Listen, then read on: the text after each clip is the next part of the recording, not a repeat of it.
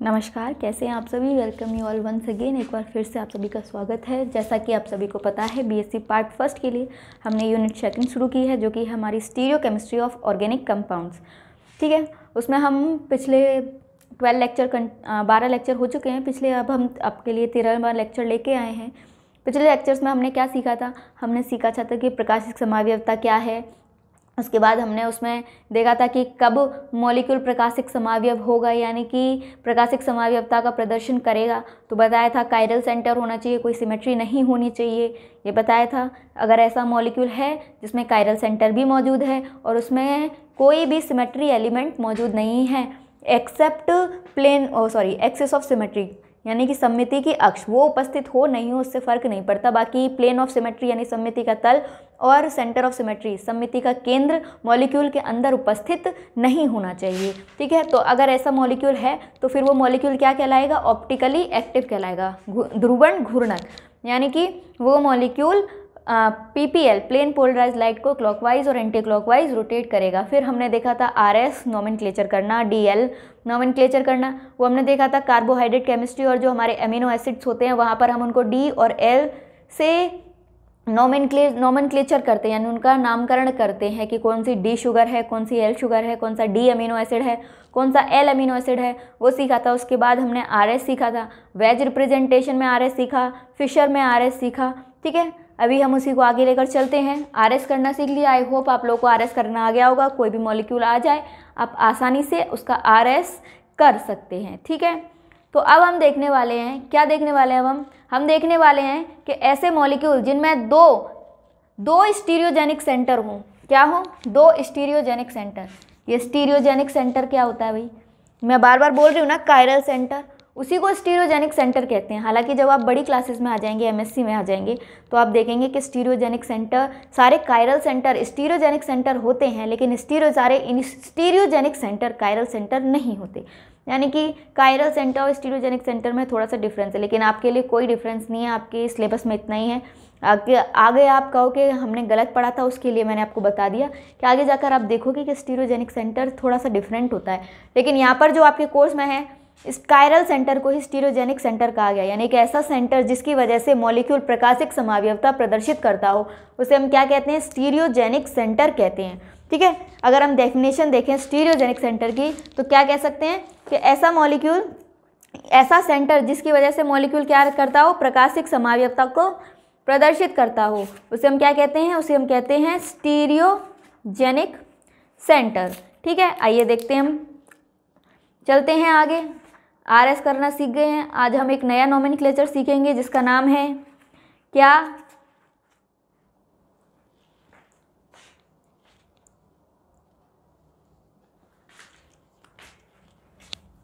सबसे पहले देख लेते हैं।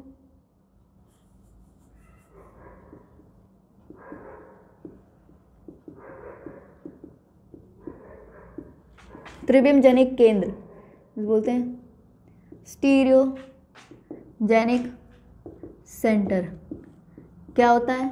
तो हम लिख सकते हैं कि कार्बनिक यौगिकों में वह केंद्र जिसके द्वारा जिसके द्वारा यौगिक क्या करता है? प्रकाशिक समाव्यता समाव यवता प्रदर्शित करता है। प्रदर्शित करता है। क्या कहलाता है? स्टीरियोजेनिक सेंटर कहलाता है। ठीक है?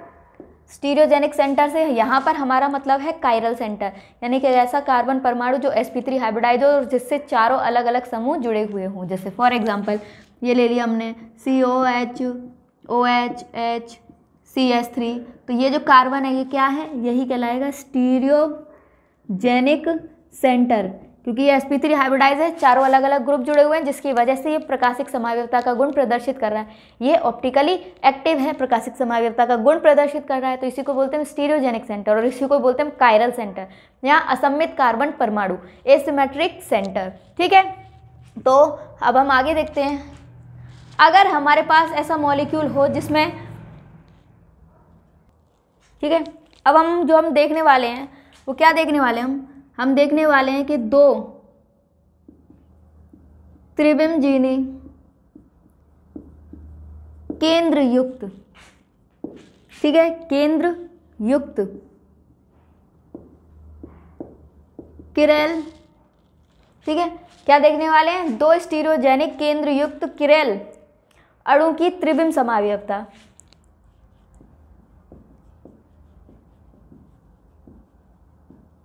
त्रिविम समावयवता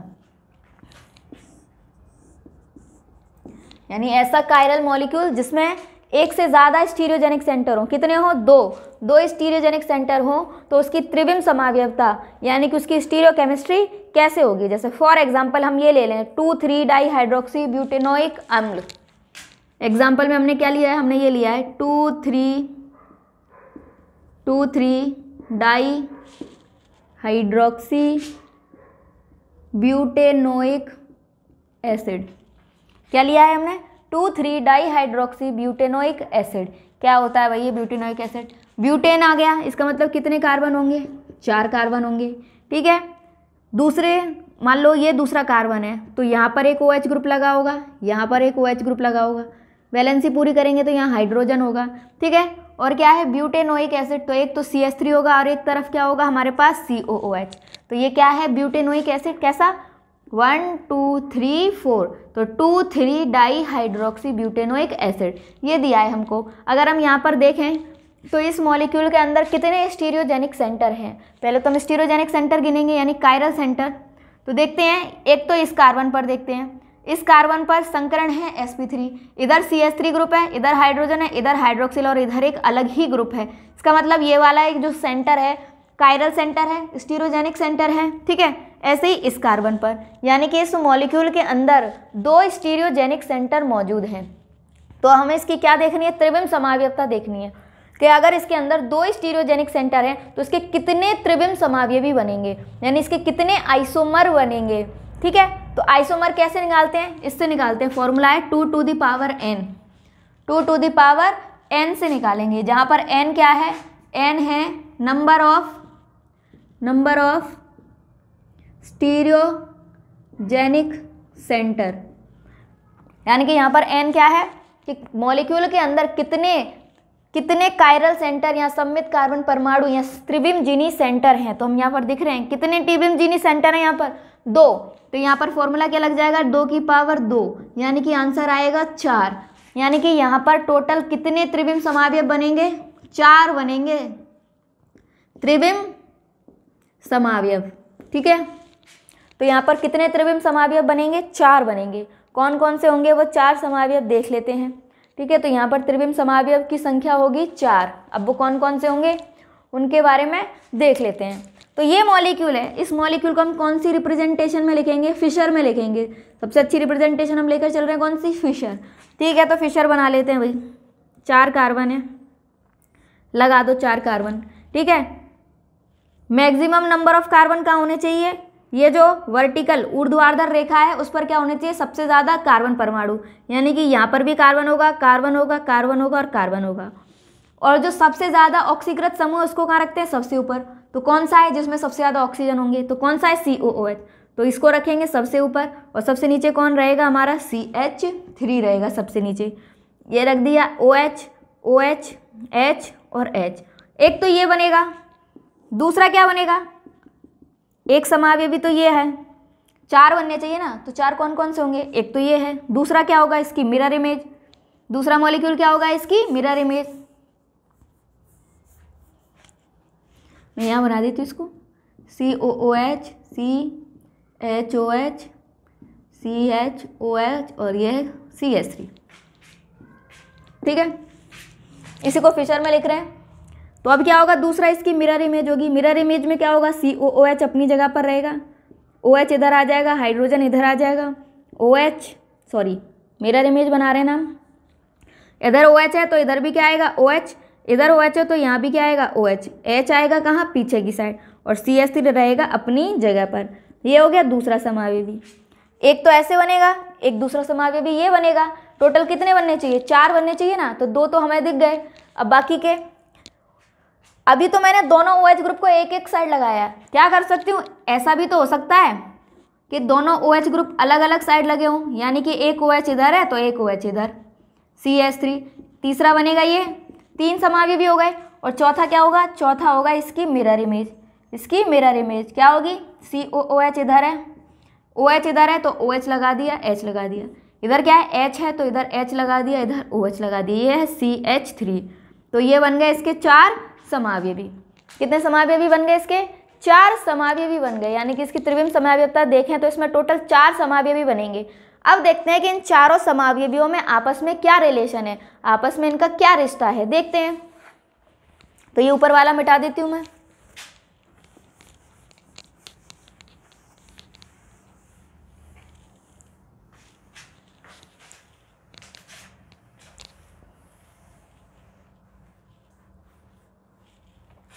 ठीक है? बात करते हैं पहले और दूसरे। इन दोनों की बात करते हैं कि पहला और जो दूसरा समावय भी है, इसमें क्या रिश्ता है? क्या रिलेशन है? रिलेशन से मतलब है, क्या है ये? इनेंशियोमर है, प्रतिबिंब रूपी हैं या डायास्टीरियो आइसोमर्स हैं, अप्रतिबिंब रूपी हैं? तो इनमें कौन सा रिलेशन है, वो हमको चेक करना है। तो देखते हैं भाई, पहले और दूसरे की बात करते हैं। इन दोनों को देखते हैं, पहले और दूसरे। तो ये क्या है? ये जो है, इसकी मिरर इमेज है। है भाई? ठीक है, सही बात है मिरर इमेज है। अब मैं इसे उठाऊं ऐसे और इसके ऊपर रखूँ तो क्या ये अध्यारोपित हो जाएगा? मैंने मॉलिक्यूल को ऐसे ही उठाया और एज इट इज़ बिना घुमाए, बस ऐसे ही उठाया और बिना घुमाए इसके ऊपर रख दिया। तो क्या ये अध्यारोपित होगा? नहीं होगा, क्योंकि इसमें ओ OH ग्रुप इस साइड है। जब मैं इसे इसके ऊपर रखूँगी तो ओ OH इधर आएँगे और हाइड्रोजन इधर आएँगे। यानी कि ओ OH के सामने आएँगे हाइड्रोजन और हाइड्रोजन के सामने आएगा ओ OH यानी कि ये एक दूसरे पर अध्यारोपित नहीं होंगे। ये दोनों एक दूसरे पर अध्यारोपित नहीं होंगे। तो इन दोनों में रिलेशन क्या है? क्या रिलेशन है? रिलेशन ये है कि पहला और दूसरा आपस में क्या है? आपस में क्या है? आपस में है प्रतिबिंब रूपी, यानी मर्स। इन दोनों का आपस में रिलेशन क्या है? पहले और दूसरा जो है, इनका आपस में रिलेशन क्या है? प्रतिबिंब रूपी हैं ये दोनों आपस में मर्स हैं, ठीक है? ऐसे ही तीसरा और चौथा, इनमें क्या रिलेशन है? थर्ड और फोर्थ में देखें। अगर आपसे कोई पूछे कि तीसरे और चौथे में रिलेशन बताओ कि ये क्या है तो क्या देखें? ये इसकी मिरर इमेज है, सही बात है मिरर इमेज तो है। अब क्या करते हैं? देखते हैं कैसी मिरर इमेज है। उठाया, इसके ऊपर अध्यारोपित किया। अध्यारोपित नहीं होगा। अध्यारोपित नहीं होगा। इसका मतलब ये दोनों भी क्या है? Non super imposable mirror image है।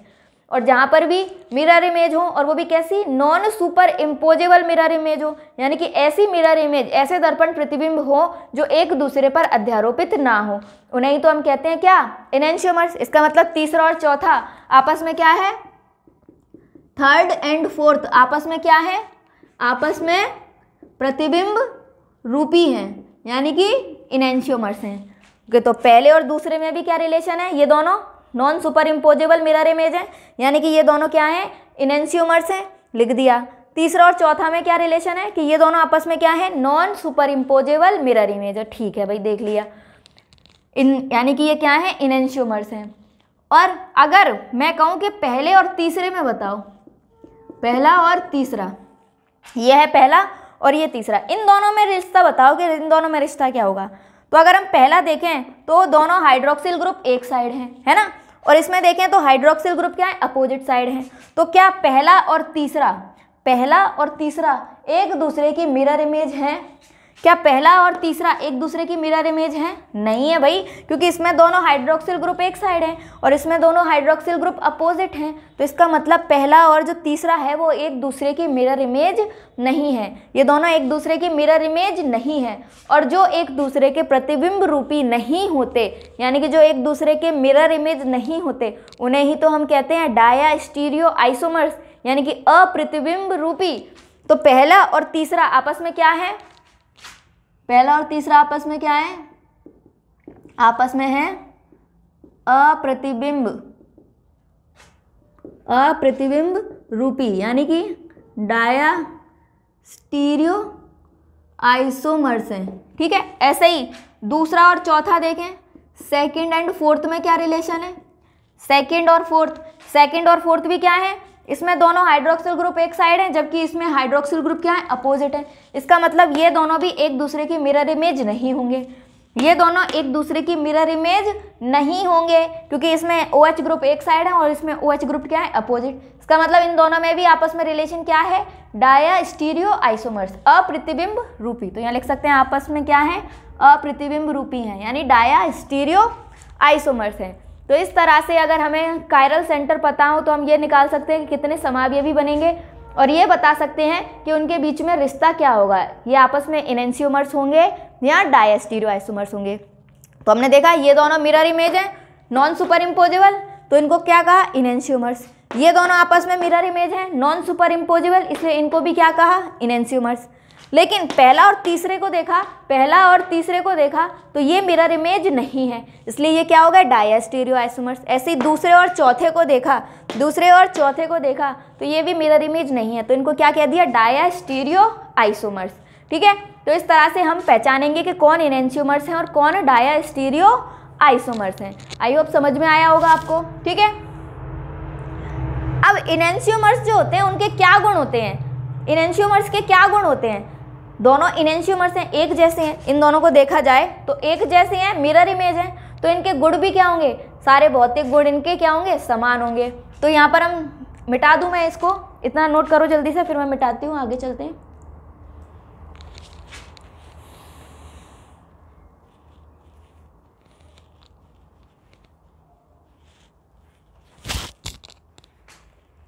ठीक है?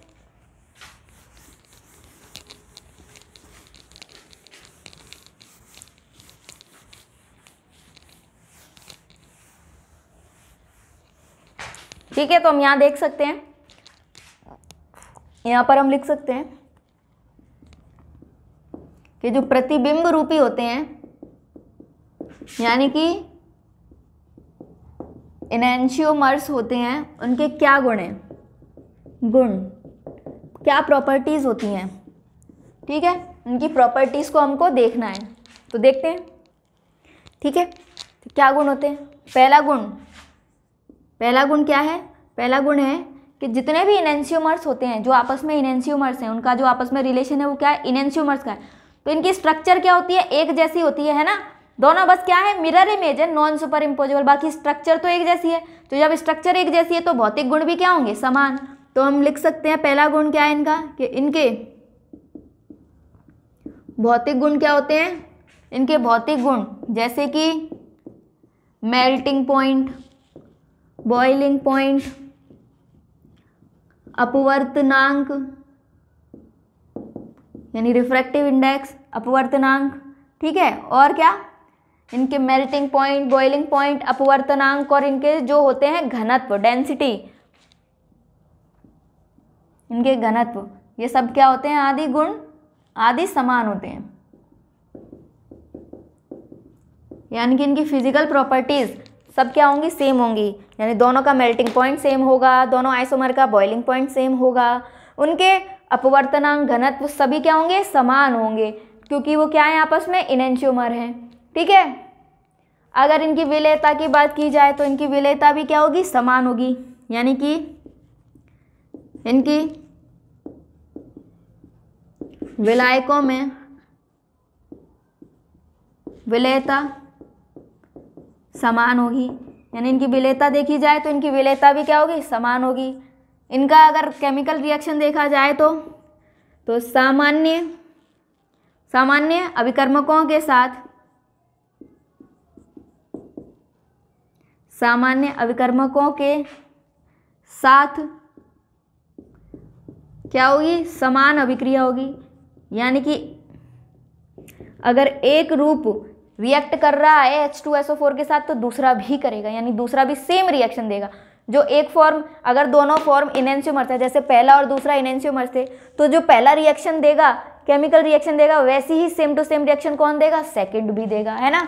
अगर तीसरी देखा जाए, चौथा देखा जाए, इनमें क्या समानता है? तो इनके जो आई आर स्पेक्ट्रम देखेंगे, यानी इनके जो स्पेक्ट्रोस्कोपिक गुण होते हैं, वो भी क्या होते हैं? समान होते हैं। तो इनका क्या कह सकते हैं? इनका अवरक्त स्पेक्ट्रम समान होता है। भले ही दोनों अलग अलग है मिरर इमेज है नॉन सुपर इम्पोजिबल लेकिन इनके अवरक्त स्पेक्ट्रम भी क्या होंगे? समान होंगे। तो डिफरेंस क्या है फिर? डिफरेंट क्या है फिर? सब कुछ तो समान है तो डिफरेंस कैसे करेंगे हम दोनों में कि ये आइसोमर हैं? डिफरेंस केवल एक ही है। क्या? कि एक जो होगा, जैसे हमने बनाए थे ना अभी, ये बनाया था C O H O H O H यहाँ पर था C H three H H इसकी मिरर इमेज बनाई थी सी ओ ओ एच इधर O H H O H H और यहाँ पर था सी एच थ्री ये पहला था और ये दूसरा था। तो डिफरेंस क्या है इनमें? सब कुछ समान होगा। इनकी फ़िज़िकल प्रॉपर्टीज़ समान होंगी, इनकी केमिकल प्रॉपर्टीज़ समान होंगी, इनके अवरक्त स्पेक्ट्रम समान होंगे। फिर डिफरेंस कैसे करेंगे दोनों में? कैसे पता करेंगे? सब कुछ तो समान है। तो डिफरेंस आता है प्लेन पोलराइज लाइट को घुमाने के एंगल में। यानी कि इनमें से कोई एक समाव्य भी होगा जो प्लस होगा और एक समाव्य भी होगा जो माइनस होगा। प्लस का मतलब डेक्स्ट्रो रोटेटरी यानी कि एक समाव्य भी ऐसा होगा जो पीपीएल को क्या करेगा? क्लॉकवाइज घुमाएगा। डेक्स्ट्रो रोटेटरी या प्लस का मतलब क्या होता है? क्लॉकवाइज रोटेशन तो एक तो ऐसा होगा जो पीपीएल को क्लॉकवाइज घुमा देगा और दूसरा क्या होगा? जो पीपीएल को एंटी क्लॉकवाइज घुमा देगा। यानी कैसा होगा लीवो रोटेटरी तो एक होता है डेक्स्ट्रो रोटेटरी और एक होता है लीवो रोटेटरी केवल इतना ही डिफरेंस है। केवल एंगल का। एंगल तो दोनों में सेम होगा। मान लो ये प्लस थर्टी डिग्री घुमाता है तो ये भी क्या होगा? माइनस में कि सेम घुमाएगा थर्टी डिग्री बस साइन चेंज होगा। एक प्लस होगा, एक माइनस मतलब एंगल सेम रहेगा, एक क्लॉकवाइज रोटेशन कराएगा, जबकि दूसरा एंटी क्लॉकवाइज रोटेशन कराएगा। केवल इतना डिफरेंस होता है। बाकी सारे गुण समान होते हैं इनेंशियोमर्स के। ठीक है? तो आगे चलते हैं।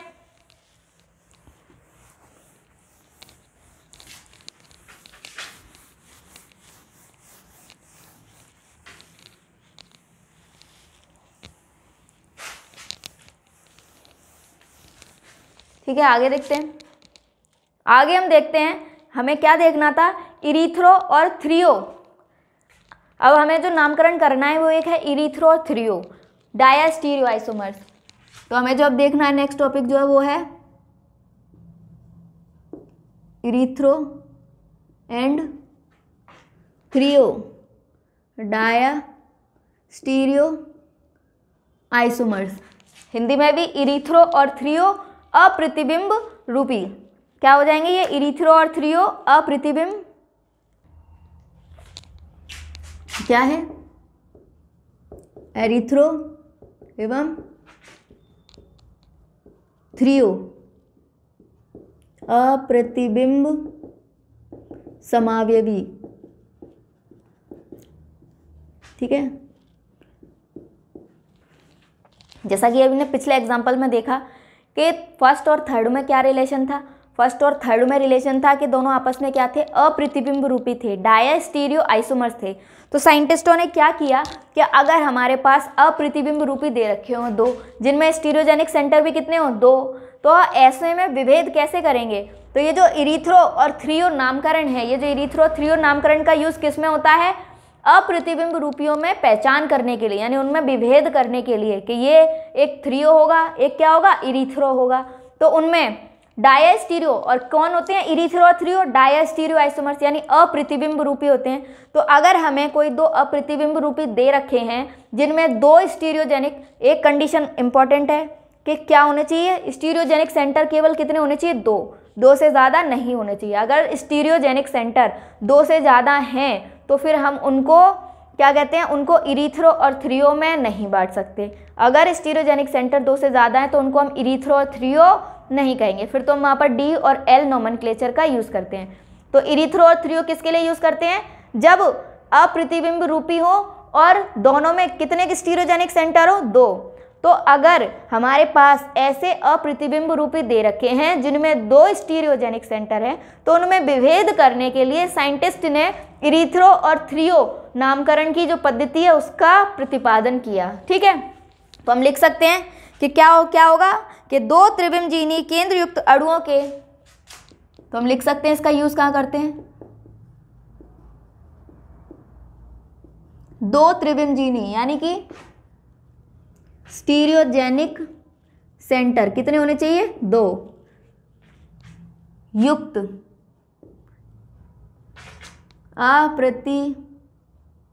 बिंब रूपी समावयवियों समावयवियों में विभेद करने के लिए अप्रतिबिंब रूपी, दिख तो रहा होगा ना छोटा तो नहीं है ज़्यादा आई डोंट थिंक सो छोटा है। विभेद करने के लिए करने के लिए किस रसायनज्ञों ने रसायनज्ञों ने क्या किया? क्या किया?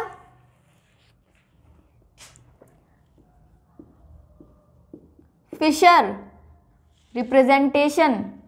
कौन सी रिप्रेजेंटेशन यूज़ करेंगे हम? Fischer representation. यहाँ पर जो रिप्रेजेंटेशन यूज़ होगी वो कौन सी होगी? फिशर।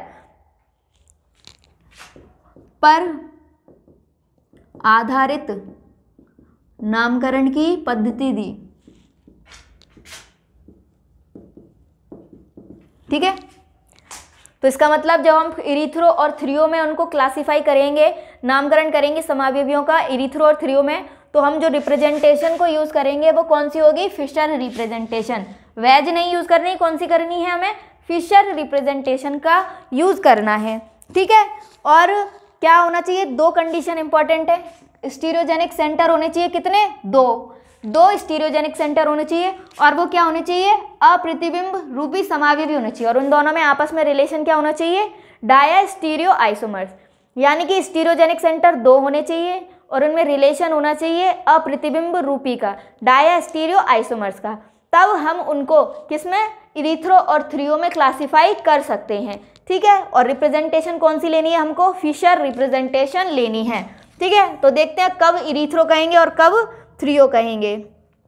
तो यहाँ पर देख सकते हैं कि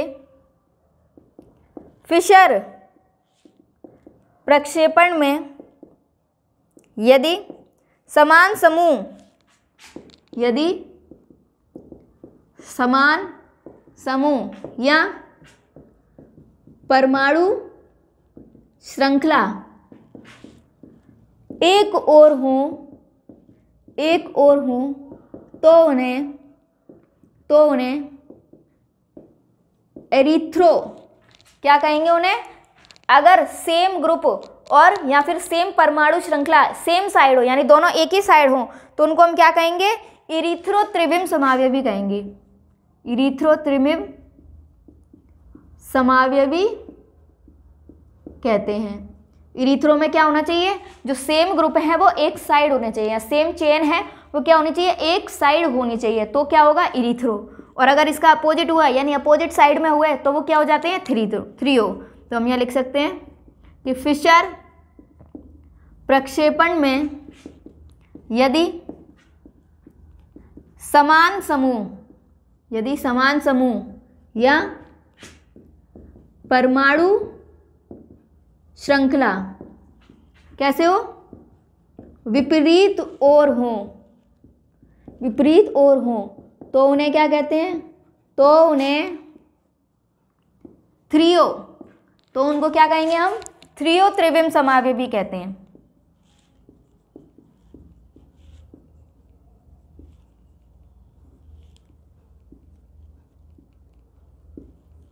ठीक है?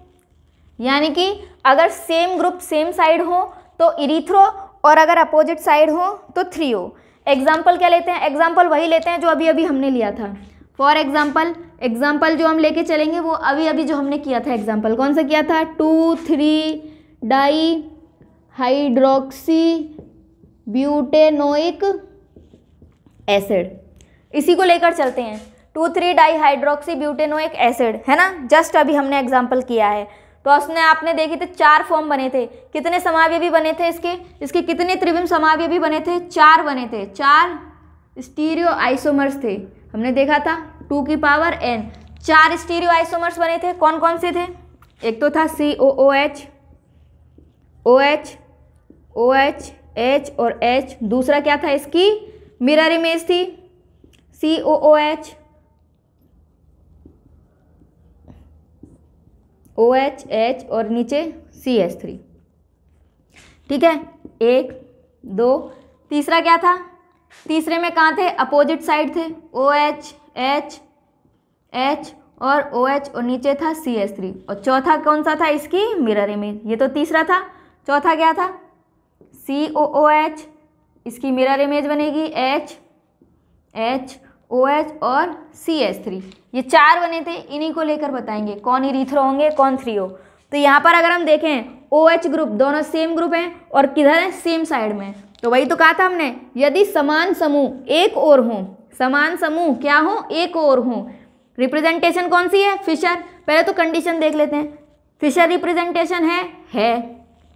स्टीरियोजेनिक सेंटर दो हैं क्या? बिल्कुल हैं भाई। दो स्टीरियोजेनिक सेंटर हैं। तो अब क्या करना है? इरीथ्रो और क्या ये डायास्टीरियो आइसोमर्स हैं? हाँ भाई, है ना? पहला और तीसरा, पहला और तीसरा आपस में क्या है? डायास्टीरियो आइसोमर है। दूसरा और चौथा आपस में क्या है? डायास्टीरियो आइसोमर्स है। तो हम यहाँ पर इनेंशियोमर्स की बात नहीं कर रहे हैं डाया आइसोमर्स की बात कर रहे हैं। यानी कि पहले और तीसरे, दूसरे और चौथे की बात कर रहे हैं कि इनमें क्या रिलेशन है। तो यहाँ पर देखें, समान समूह क्या है? एक साइड अगर इसमें भी देखें तो समान समूह क्या है? एक साइड तो ये दोनों क्या है? इनको हम क्या नाम दे सकते हैं? इनको हम दे सकते हैं ये क्या है? एरिथ्रो। ये क्या है?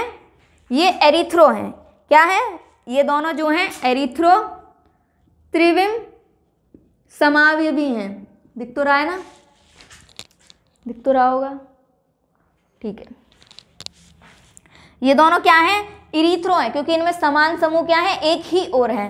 तो ये इरीथ्रो त्रिविम, समावय भी हैं। और यहाँ पर देखें तो समान ग्रुप क्या है? Opposite O H O H opposite है एच एच अपोजिट है। यहाँ पर भी O H O H opposite है एच एच अपोजिट है।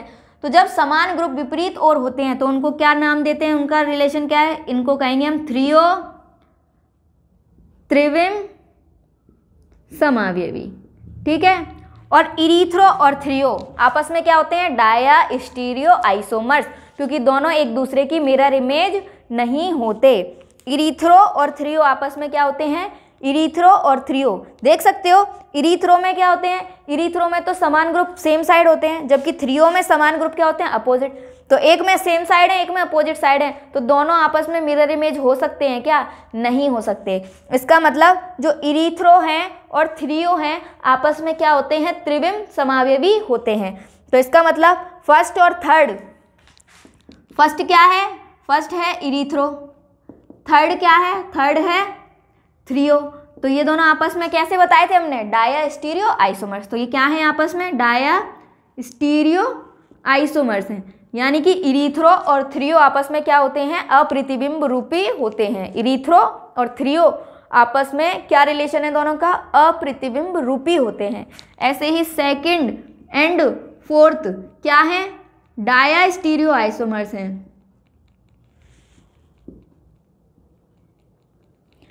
ये क्या है? ये है इरीथ्रो और ये क्या है? ये है थ्रियो। तो इसका मतलब इरीथ्रो और थ्रियो आपस में क्या होते हैं? डाया स्टीरियो आइसोमर्स होते हैं। तो इस तरह से जिनमें दो त्रिविमजीनी केंद्र होते हैं और जो फिशर रिप्रेजेंटेशन में हो तो उनको हम इरीथ्रो और थ्रियो बता सकते हैं। अगर समान ग्रुप सेम साइड होंगे तो इरीथ्रो और अगर समान ग्रुप अपोजिट साइड होंगे तो थ्रियो कहते हैं। जल्दी से नोट कीजिए, आगे चलते हैं फिर। कुछ एग्जाम्पल्स कर लेते हैं। उनको हम इरीथ्रो और थ्रियो नामकरण देंगे।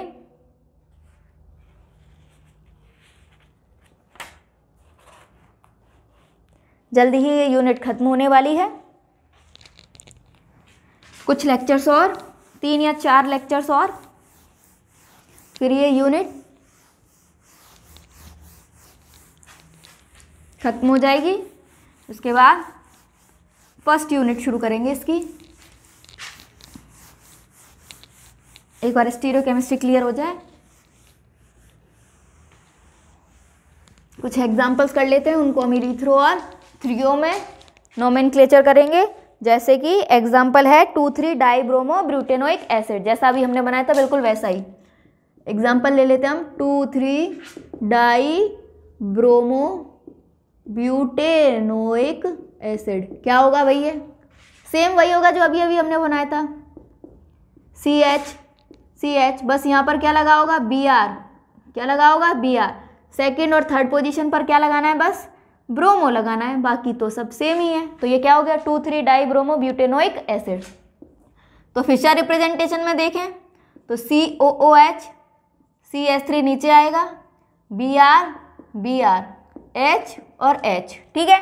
एक तो ये हो सकता है और दूसरा क्या हो सकता है? दूसरा ये हो सकता है कि C O O H B R कहाँ हो? अपोजिट साइड में हो।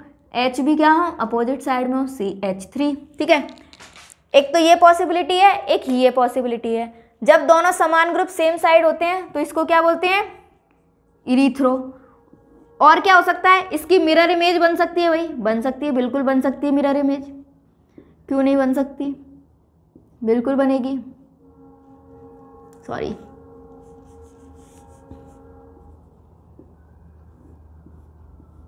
बी आर इधर है तो बी आर बी आर इधर है तो बी आर एच एच और यहाँ पर क्या आएगा? सी एच थ्री ये भी क्या है? इरीथ्रो तो ये दोनों आपस में क्या है? इरीथ्रो त्रिविम समावेवी ठीक है?